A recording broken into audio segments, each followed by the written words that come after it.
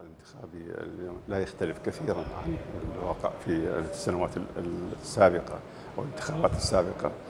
آه، ما آه، نتمناه أن يكون هناك تغيير من قبل الشارع ومن قبل آه، الجمهور الناخب لهذه القوائم. أيا كانت هذه القوائم فالمفروض أنه يكون هناك تدقيق في المرشحين وفي السمعة لكل مرشح ومن ثم الاختيار الدقيق لأي من هذه المرشح أي من هذه المرشحين. ال ال ال الانتخابات ستكون مفصلية والكرة في ملعب الجمهور في, في, في الكرة في ملعب أهل الموصل وأهل نينوى. وعليهم آه، أن يتخذوا القرار الصحيح لما فيه خير المحافظة وخير الموصل يعني هي البطاقات هذه البدعة اللي آه، في جرت في الانتخابات السابقة ويبدو أنه اليوم أيضا الفاسدين ومن وراءهم آه، يبحث عن هذه آه، عن تكرار هذا السيناريو في الانتخابات.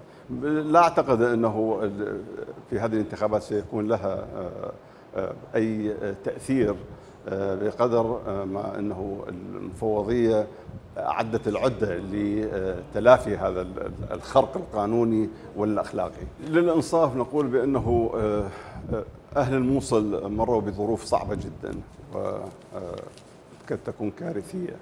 ولا زال لحد الآن المواطن الموصلي يعاني من آه، كل هذا الدمار الموجود.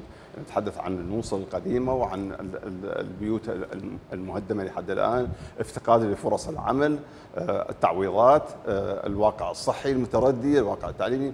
وبالتالي يجب أن نعطي بعض العذر للمواطن في في هذه الظروف. ولكن إذا نظرنا إلى الفئة الأكبر من أهل الموصل يجب عليهم أن آه، يتجاوزوا هذا هذا الإخفاق وهذا الخلل والاتجاه إلى القرار الصحيح آه، في اختيار المرشح المناسب للمرحلة القادمة المقاطعة آه، ال 80% المقاطعين للعملية السياسية لم يقاطعوا من فراغ ولكن نتيجة للفشل والفساد الموجود في هذه العملية السياسية. آه، الحل الوحيد لكسر وتدمير منظومة الفساد هذه والفشل هو بالاتجاه آه، المشاركة الواسعة وإبعاد الفاسدين آه، والفاشلين واتجاه إلى الوجوه الجديدة التي ممكن